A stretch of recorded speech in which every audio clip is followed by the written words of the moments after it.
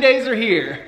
Welcome back to the channel. If you're new here, I suggest you subscribe. I'm Ryan and we're out here in the Chaos Garage today. We're gonna be working on, I got a hood for my 2000 Mustang and not just any hood. So I kinda, I like to do things that, that stand out a little bit and I wanna go with something different. So I feel like for these cars, people typically go with like two different styles either the 0304 Cobra hood or they do like a some type of cowl hood, which both of those look great. It's just so commonplace. You roll up to a car show and you and 30 other guys have the exact same hood.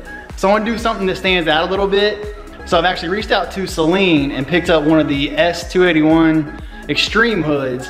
So I've never actually seen one of these just like on a, on a base style Mustang. So I'll be curious to how it looks. So let's quit wasting time we're gonna go ahead and jump in, unbox this bad boy, and see what it looks like.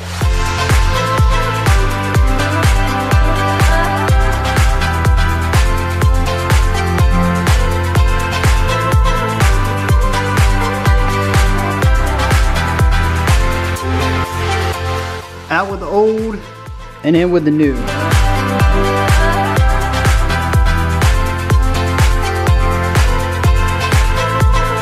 This hood is fully fiberglass, so I can tell it's already a lot lighter than the stock hood.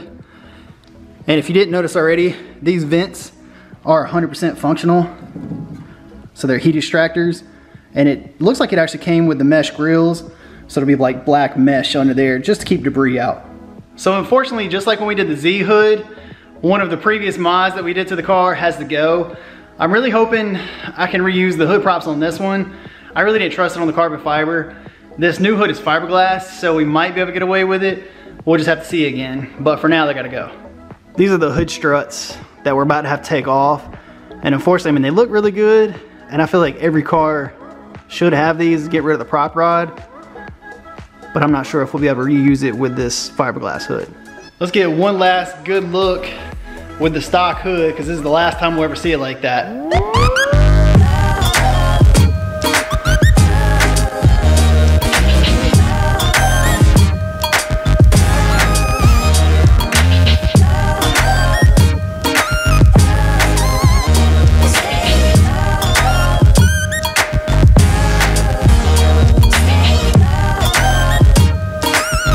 Now that we have the hood off, I'm looking at like where the hood hinge is gonna sit. And so this is the stock hole that it fits into.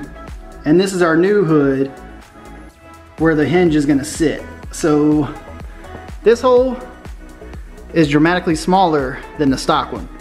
I hope that's not an issue. When we were installing the Z hood, I kind of had a heads up as far as like the fit and finish of a Seibon hood. This one I have no clue about, so I don't know if we need to drill this one out or Dremel it out. I'm hoping not. We're gonna go for it, just try to install it and hope it fits.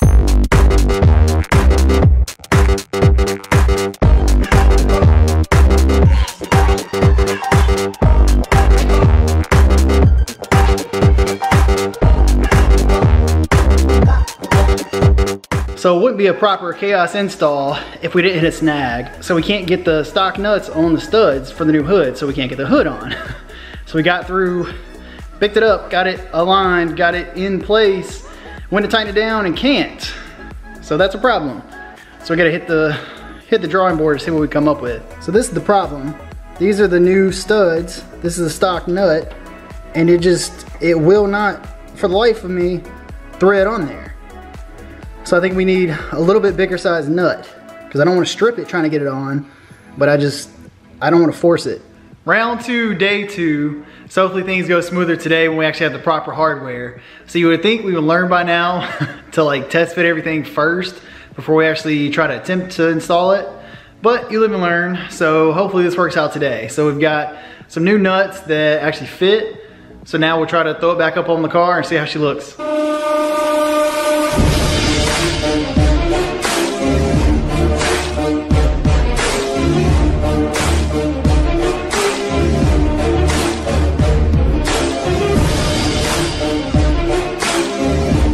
Saleen, I'm disappointed in you. I really thought this one would slide on really easily, but looking at it, it's hitting the latch. So I'll give you a close up in a minute, but I was kind of in my head, I was thinking about it before we installed it and I was comparing like the stock hood and like the little hole where your hood latch goes into. It was smaller than, yeah, the, the stock one was bigger and the new hood was smaller. So I'm wondering if that's the problem.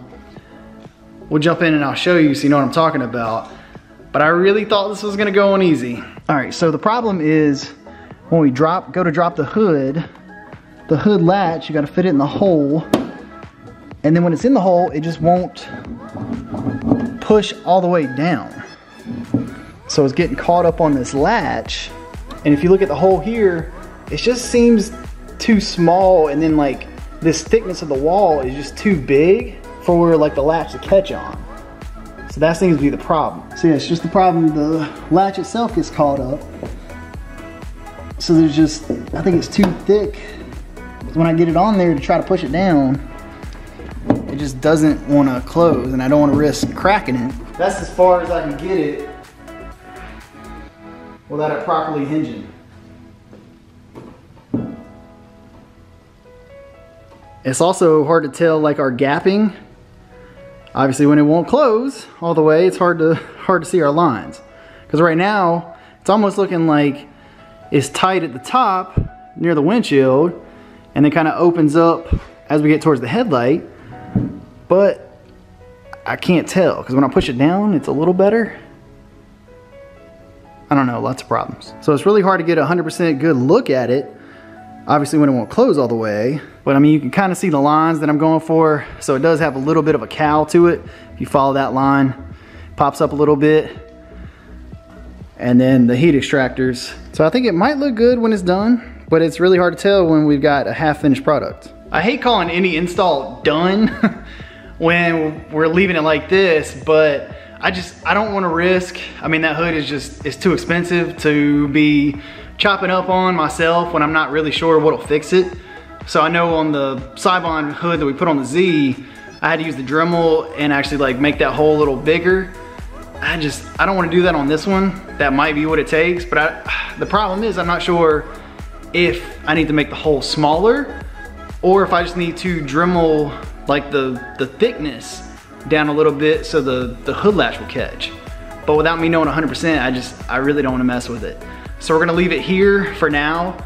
So check back, cause we're gonna, I'm gonna contact my paint guy tomorrow, essentially. But I'm gonna contact my paint guy ASAP and explain to him what's going on. And I mean, he does body work like this, so he can, he'll be able to knock it out no problem. But ideally, I would like the hood without hood pins last resort, I don't mind them. Like I did those AeroCatch latches on the Z and I can do it for this one. I just, I prefer not to. So I'm gonna take it to him, see what he can do. So stay tuned. We'll get you a finished product, but I appreciate you watching. If you will, subscribe to the channel. Catch you in the next one.